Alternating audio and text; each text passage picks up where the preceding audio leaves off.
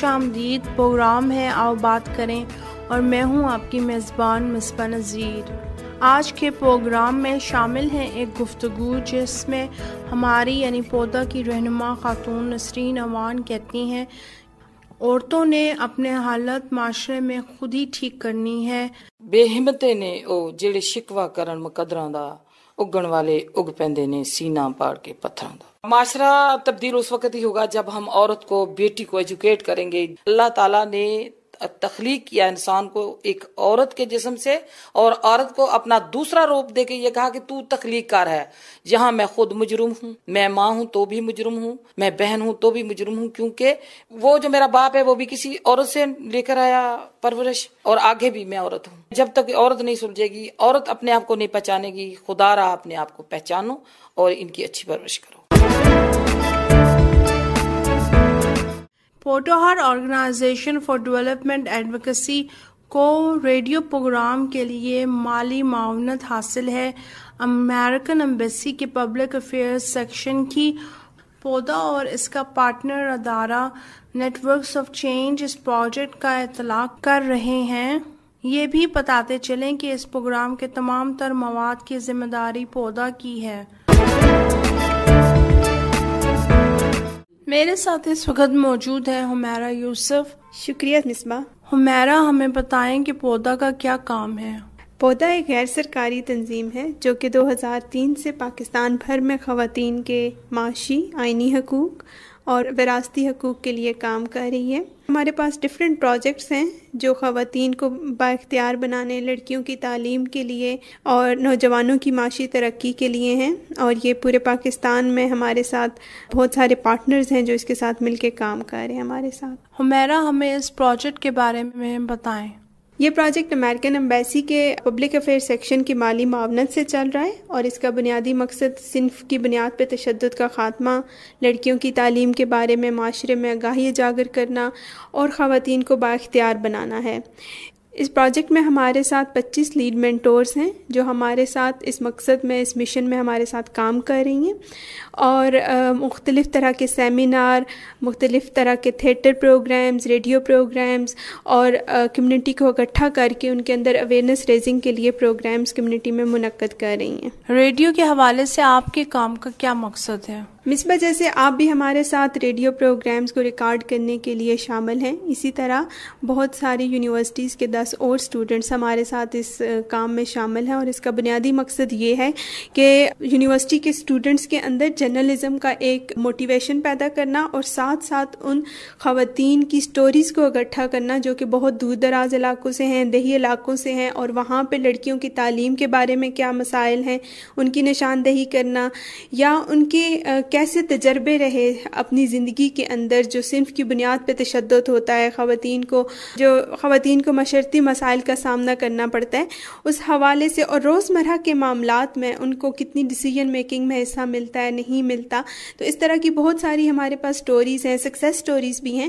تو آپ جیسے ریڈیو جرنلسٹ کے تھرو ہم ان تک پہنچ رہے ہیں۔ تو اس پروگرام کے تحت ہم نے بہت سارے ریڈیو رضاکاروں کو اپنے ساتھ منسلک کیا ہے۔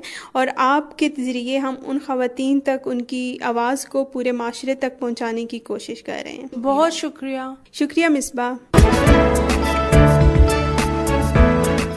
آج آپ بات چیت سنیں گے نسرین اوان کی، جن کا تعلق ہے ساہیوال سے۔ نسرین اوان تقریباً چالیس سالوں سے خواتین کے حقوق کے حوالے سے کام کر رہی ہیں۔ اپنے علاقے میں بہت زیادہ ایکٹیو ہیں اور کھیت مزدور عورت کے حقوق کے حوالے سے ان کی آواز بہت اثر رکھتی ہے۔ نسرین اوان کے ساتھ ان کی بیٹی رضوانہ نصیر بھی موجود ہیں۔ رضوانہ کو عورتوں کے حقوق کے حوالے سے حوصلہ اور لگن اپنی والدہ سے ملی ہے۔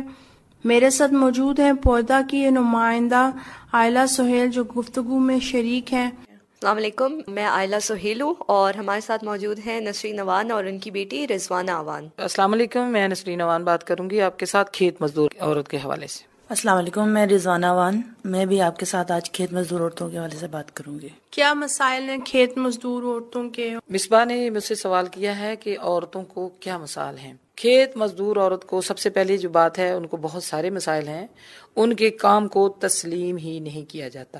کہیں درج ہی نہیں ہے کہ عورت بھی کوئی کام کرتی ہے۔ میرا ضلع ڈسٹرکٹ ساہیوال زیادہ تر زراعت سے منسلک ہے اور پاک پتن عرف علائی میں انہی علاقوں میں میرا زیادہ کام ہے اور کام میرا بکھر لیا میں بھی تو میں کھیت مزدور کے ساتھ کام کرتی ہوں۔ جہاں پر عورت کو تسلیم ہی نہیں کیا جاتا، یہ کھیت مزدور۔ میرے دیہات کی عورت جو ہے وہ صبح چار بجے اٹھتی ہے۔ سب سے پہلے وہ اپنا مال مویشی جو اس نے رکھا ہوتا ہے، اس کی صفائی کرتی ہے، کیونکہ اس نے کام پہ جانا ہوتا ہے باہر۔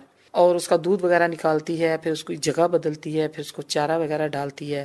اس کے بعد وہ اپنے گھر والوں کے لیے ناشتہ وغیرہ بناتی ہے۔ بچے اگر اسکول جا رہے ہیں تو انہیں اسکول بھیجتی ہے۔ اتنے سارے کام کرنے کے بعد وہ عورت کھیت میں جاتی ہے۔ کھیت کیونکہ کوئی ہموار جگہ نہیں ہوتی کہ وہ بیٹھ کر کام کرے گی، وہ کبھی جھک رہی ہوتی ہے، کبھی کھڑی ہو رہی ہوتی ہے، کبھی اسے اپنی طاقت کا مظاہرہ کرنا پڑتا ہے، کبھی اس نے گٹھے اٹھانے ہیں، کبھی اس نے گٹھوں کی شکل میں گندم ہے یا چھڑیاں ہیں یا کوئی چیز بھی اس نے کاٹی ہے، وہ کٹھی کرنی ہے اس نے۔ عورت کے لیے یہ چاہوں گی کہ میں ان کے جو بہت مین مسائل ہیں ان پہ بات کروں، اس کو اجاگر کروں۔ سب سے پہلے میری حاملہ عورت، اس کی خوراک نہیں ہے۔ جو لوگوں کے لیے خوراک تیار کرتی ہے، اس کے اپنے لیے اپنے لیے خوراک نہیں ہے۔ وہ انمک ہے۔ یہ میری التجا رہی ہے گورنمنٹ کے ساتھ اور میں نے پریس کانفرنسیں بھی کی ہیں اور جہاں کہیں مجھے فورم بھی ملا ہے، خواتین کے لیے بولے، میں کہتی ہوں کہ ایک ایسا کاؤنٹر اس عورت کے لیے ہونا چاہیے جو کھیت مزدور ہے، آئے اور آ کر اپنا اب چیک اپ کرائے اور چلیے سارا دن وہ کھڑی ہوتی ہے لائن میں۔ وہ سارا دن لائن میں کھڑی ہوتی ہے۔ پھر میری اس عورت کو عزت نہیں ہے۔ اس کو ہم جاہل گوار سمجھتے ہیں۔ پینڈو کہہ کر اس کی عزت نفس کو بھی مجرو کرتے ہیں۔ کیونکہ اگر میں ایک ذمہ دار ہوں میں بھی ایک عورت ہوں نا، پھر عورت کھیت میں کام کرنے گئی ہے تو پھر ایک ذمہ دار کی عورت کو چاہیے نا، وہ جائے۔ وہ ایک میل جاتا ہے، ان کے سر پہ کھڑا ہو جاتا ہے۔ اور یہ میں بہت ساری چیزوں کو محسوس کرتی ہوں کہ عورت کام کر رہی ہوتی ہے اور وہ اسے کہہ رہا ہوتا ہے، یا ان کو گھور رہا ہوتا ہے بری نظروں سے، یا ان کے تقدس کو مجرو کیا جا رہا ہوتا ہے۔ پھر ان کو ویجز نہیں دی جاتی۔ ان کی ہیلتھ بھی کمزور ہے، ان کی عزت بھی کمزور ہے اور ان کی ویجز بھی کمزور ہے۔ تو یہ کہانی کیسے بدل سکتی ہے؟ یہ کہانی کیسے بدل سکتی ہے؟ میں آپ کو یہاں کے ذکر کرتے جاؤں گی کہ دو، یہ جو میری خاتون جو کام کرتی ہے، اس کے لیے ہم چاہ رہے ہیں کہ ہم اس کو، اس کا حل کیا کریں۔ اب میں بتاؤں آپ کو کہ کسان سنگت بنی ہے۔ اس میں میں ان کی آل پاکستان جنرل سیکرٹری رہی ہوں۔ وہاں پر بھی میں نے یہ بات کی تھی کہ ان عورتوں کے نام پر یہ عورتیں خود خدا را ان کی جائیداد قرآن نے، حدیث نے، اللہ نے، قانون نے ان کو وراثت میں حصہ دیا ہے۔ یہ خود اپنے پر ظلم کرتی ہے اپنا حصہ چھوڑ دیا ہے۔ اپنی لائف کو اس نے خود سے گیون ٹیک بنایا ہے۔ عورت کو تو بچپن سے سکھایا جاتا ہے کہ قربانی دو سیکریفائز کرو، سمجھوتا کر لو، تم اس کو بدل سکتی ہو، یہ تمہاری وجہ سے وہ بدل جائے گا۔ وہ اسی اب ہم بات کر رہے ہیں تبدیلی کی، نہ کہ اسی بات کی کر رہے ہیں کہ وہ اثار ہے اثار قربانی ہے۔ ہم بات کر رہے ہیں کہ تبدیلی کیسے آئے گی۔ میں کہتی ہوں، عورتوں کو یہ بات کہتی ہوتی ہوں کہ جو قوانین بنے ہیں وہ مرد اور عورت دونوں کے لیے برابر بنے ہیں۔ تھانے کچہری میں اگر وہ جائے گی تو عورت کو عزت کی نظر سے نہیں دیکھا جاتا، وہ بالکل اس کے اوپر باتیں ہوتی ہیں اور وہ سارے رشتے گیون ٹیک سے خریدتی ہے۔ حق مہر چھوڑتی ہے تو بیوی بنتی ہے۔ حق مہر مرضی کا رکھے گی تو اس کا وہ شادی نہیں کرنا چاہتے، کہتے وہ تو اپنی قیمت مانگ رہی ہے۔ اس کے بعد اگر بھائیوں سے حصہ لیتی ہے تو وہ ایک کفن مانگتی ہے اور وہ ایک دن کے لیے کہ میرے بھائی بہن، میرے بھتیجیاں، میرے اس کے، میری میت کو رو لے اس کے علاوہ اسے کچھ نہیں ملتا۔ اگر وہ اپنے رشتہ داروں کو اس سے حصہ مانگتی ہے تو میں کہتی ہوں کہ اگر ہر گھر کی بیٹی، ہر ماں کی بیٹی، ہر ہوا کی بیٹی یہ چیز اپنے آپ کو تسلیم کرے کہ میں ایک انسان ہوں، مجھے جینے کا حق ہے اس انسان کی طرح جو اپنے آپ کو مرد کہلاتا ہے۔ جو مجھے حق اور حقوق ملے ہیں، اس پہ میں سبقت رکھتی ہوں، یہ میرا رائٹ ہے۔ یہ خود سے میں بیچاری ہو گئی ہوں۔ جب تک آپ مار کھاؤ گے ہاتھ کو، اپنے آپ کو دفاع کرنے کے لیے تو مار پڑے گی۔ جب تک آپ اس کا ہاتھ یوں نہیں پکڑتی انف بس۔ تو یہ ضرورت پیدا کرنی ہے۔ ماں نے بیٹی کے اندر، باپ نے اپنی بیٹی کے اندر۔ جب اس کی بیٹی پٹ رہی ہوتی ہے تو باپ کو تکلیف ہو رہی ہوتی ہے۔ وہ تھانے بھاگتا ہے۔ تو اس کو تربیت دے کے کیوں نہیں بھیجتا؟ ایسے گھر میں کیوں نہیں اسے دیتا؟ آپ کے ساتھ آپ کی بیٹی بھی ابھی موجود ہے تو میں پوچھنا چاہوں گی کہ آپ کے شوہر کا کیا کردار رہا تبدیلی لانے میں؟ تبدیلی یہ ہے کہ میرے شوہر نہیں میرے سسر میرے والد نے ہمیں یہ رائٹ دیا میں اب اپنی بات سے بات کروں گی کہ یہ میرے اندر کیسے شوق آیا یہ کیوں آیا کہ میرے والد صاحب نے ہم بیٹیوں کو برابر تعلیم دلوائی ہے۔ میں گھوڑ سواری کرتی رہی ہوں، مجھے میرے باپ نے کبھی نہیں کہا تم گھوڑے پہ نہ بیٹھو۔ میں بڑے ایسی جگہ سے پال کے آئی ہوں جہاں پر کبھی میں نے کئی سالیں جوتے بھی نہیں پہنے۔ یہ مجھے وراثت میں ملی ہے اس طرح سے کہ میرے والد نے کچھ لوگ تھے جب انیس سو پینسٹھ کی جنگ ہوئی ہے، کچھ لوگوں کو میرے باپ لے گئے تھے، وہ سندھ میں چلے گئے تھے۔ باؤنڈر لیبر کے اوپر وہ بےچارے مجبور ہو گئے تھے، ان کی بیٹیاں تھیں۔ تو کسی نے کہا کہ ان کو آزاد کرایا جائے، تو میرے والد صاحب ان کو آزاد کروا کے لائے تھے۔ تو ایک دن میں گھر میں گئی ان کے، تو ان کے ساتھ ایک ہندو تھے۔ اور وہ نا اس کی بیبی کچھ نہ پکا رہی تھی پکائے جا رہی تھی، وہ لڑکی سے مجھے بڑا پیار تھا۔ تو وہ اما جی پکاتی رہی پکاتی رہی۔ میں نے کہا، کیا پکا رہی ہو اتنی دیر سے؟ کیا کھلا رہی ہو؟ تھوڑی دیر بچے روئے کوئی مدن تھا سنگاڑی تھی اس کا نام، ایسے لوگ تھے ان کے ہندوؤں والے نام۔ تھوڑی دیر کے بعد اس نے بچوں کو دینا شروع کیا، کٹوریوں میں چار چار دانے اس کے ڈالتی تھی، دال کے، مٹر کی دال اس نے کیا بنائی تھی اور ساتھ پانی دیتی تھی۔ اور میں نے جب دیکھا تو مجھے رونا، میں بھاگ کے آئی، میں نے چوری کی گھر سے۔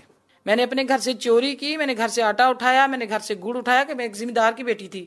اور میں نے گھر سے گھی چوری کیا اور جب میں نکلنے لگی، میری پھپھو نے دیکھ لیا مجھے۔ اور مجھے جب اس نے آوازیں دی تو میں نے دوڑ لگا دی۔ میں دوڑ لگا کے چلی گئی۔ جا کے جب میں دے کے آئی تو مجھے میری شکایت لگی میرے والد صاحب کو کہ اس کی نا ٹانگیں توڑ دو، یہ شام مغرب کے ٹائم گئی ہے کسی کے گھر کہ وہ چوری گئی ہے۔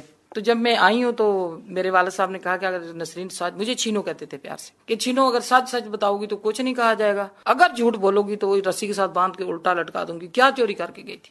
تو میں رونے لگ گئی، میں سراہ نہیں کیونکہ میری بیسٹ فرینڈ تھی، مر گئی ہے بےچاری میں نے کہا بجی اس کے گھر میں کھانے کو کچھ نہیں تھا، ان کے گھر آٹا نہیں تھا، ان کے گھر کچھ نہیں تھا، ان کے بچوں کو اس کی ماں نے یہ دیا مجھ سے دیکھا نہیں گیا۔ ہمارے گھر میں آج اتنا کچھ پکا ہوا ہے۔ تو میرے والد صاحب رو پڑے اور میری امی کو بھی ڈانٹا، پھوپھی کو بھی کہتے، آپ لوگوں کا کھانا پینا کیسے حلال ہے، آپ پڑوسیوں کو پوچھتے بھی نہیں ہو۔ تو پھر میرے ابا جی نے ایک من گندم لی اور دالیں لی گھر سے اور چیزیں لی اور ان کے گھر دے کے آیا تو وہ اس کا نام تھا بھوما، اس لڑکی کے باپ کا نا۔ تو مجھے ناٹی کہتا ہوتا تھا۔ جب اس نے مجھے کہا ناٹی میں چاچا کیا چاہیے آپ کو؟ وہ ناٹی کہتا تھا چھوٹی پیار سے۔ تو میں نے کہا چاچا کیا چاہیے؟ تو میں میرے ابا جی بہت زیادہ کرتے ہوتے تھے۔ اب کبھی میری امی کہتی تھی یہ دال اٹھا کے مسر اٹھا کے دے دیتی ہے کیونکہ ہم ذمہ دار تھے۔ ابا جی کہتے تھے اس کو منع نہ کرو۔ یہ انسان مخلوقوں کو پالتی ہے۔ تو انسان جو ہے نا وہ ان کو دینا چاہیے۔ تو تو کنجوس ہے میرے ابا جی کہتے تھے میری امی کا۔ تو اس طرح تو آپ کی بڑی شکایتیں لگتی ہوں گی۔ کٹ پڑی ہے اس بات پہ۔ بڑی کٹ پڑتی رہی ہے۔ امی مارتی تھی ابو نہیں مارتے تھے۔ آپ کی بیٹیاں کیا کرتی ہے رضوانہ آپ کو بتائیں گی۔ رضوانہ سے میں بھی ایسی ہوں بالکل اپنی امی کے جیسی ہوں۔ میں بھی امی سے بڑی ڈانٹ کھاتی ہوتی تھی۔ جب امی کو پتا چلتا تھا پھر امی ہنستی ہوتی تھی۔ امی کہتی تھی تم بھی میری بالکل شرارتی ہو۔ مجھ سے بھی نہیں دیکھا جاتا۔ میرے ساتھ کوئی بیٹھا ہو جو تکلیف میں ہو تو مجھے برداشت نہیں ہوتا۔ کیا کرنا چاہیے ہمیں؟ ہمیں کیا کرنا چاہیے؟ ہمیں میرا تو ایک اپنا ایک خیال ہے جو میں آپ کو ساتھ شیئر کروں گی۔ جب وہ لوگ روتے ہیں نا، میرے پاس آ کے ہائے مر گئے ہم بڑے غریب ہیں، میں ان سے یہ کہتی ہوں کہ ہمت کرو، جب اللہ میاں نے ہمیں ہاتھ پاؤں دیے ہیں، دماغ دیا ہے، سوچنے کے لیے تو ہمیں نہ کہ اس پہ ماتم کرے اسے نکلنا چاہیے۔ نکلنے کے لیے اس کے لیے اقدامات کو گورنمنٹ کرے۔ اسکول میں جو بچیاں پڑھتی ہیں اسکول لائف سے ان بچیوں کے ساتھ ایسی کہانیاں شیئر کریں ان کو باہمت بنانے کے لیے بہادر بنانے کے لیے ان کو اس طرح کی کہانیاں سنائی جائیں اور پھر ان کے لیے مواقع بھی ایسے نکالے جائیں جس میں وہ اب کوئی ہنر سیکھیں۔ جس جس علاقے میں رہتی ہیں ہر بندہ تو بادشاہ نہیں بن سکتا لیکن جو بہتر ہو سکتا ہے وہ اس کے لیے کیا جانا چاہیے۔ ہمیں کیا کرنا چاہیے؟ میں یہ کہتی ہوں کہ ایسے قوانین ایسی پالیسیز ہم بنائیں ایسے ایسے ایجنڈے بنا کے دیں۔ گورنمنٹ کے یا ان اداروں کے جو پاور میں ان کے دروازے کھٹکھٹاتے رہنا چاہیے۔ ان کو جگانا چاہیے کہ یہ بھی ایک ہستی ہے۔ اس کے لیے بھی سوچیں سوچیں سوچیں۔ ہم رضوانہ کیا کر سکتے ہیں؟ ہم یہ کر سکتے ہیں کہ ہم اپنی بیٹیوں کو جو ان میں جذبہ ہے، جو جس طرح کی وہ ان کی سوچ ہے، اس کو ہمت دے سکتے ہیں۔ اس طرح ہماری عورتیں جو ہیں، وہ مضبوط بھی ہوں گی اور معاشرہ جو ہے، وہ مزید ترقی یافتہ ہوگا۔ جو عورت جو ایک مار کھاتی ہے، اس طرح وہ مار بھی نہیں کھائے گی۔ کیونکہ اس کے اندر امپاورمنٹ آ جائے گی، مضبوطی آ جائے گی۔ اور اس کو یہ یقین ہوگا کہ اگر میں کوئی قدم اٹھا رہی ہوں تو میرے ساتھ ہے۔ میں اکیلی نہیں ہوں، میرے ساتھ کوئی ہے۔ اور کوئی مجبور بھی نہیں کرے گا کہ وہ اپنے فیصلے کو رد کرے۔ آپ کا بہت شکریہ۔ بہت بہت شکریہ۔ تھینک یو بہت شکریہ۔ آپ کا بھی آپ نے ٹائم دیا۔ Thank you very much Nasreen Awan کی سوچ یہی رہی ہے کہ عورتیں اپنی روایتی کردار سے باہر نکلیں اور کام کریں اور ملک و قوم کی ترقی میں اپنا حصہ ڈالیں۔ آپ اپنی رائے کا اظہار کر سکتے ہیں۔ ہمارا ای میل ایڈریس ہے info at PODA dot org dot P K programme کا وقت ختم ہوا۔ اپنی میزبان مصباح نذیر کو اجازت دیجیے خدا حافظ۔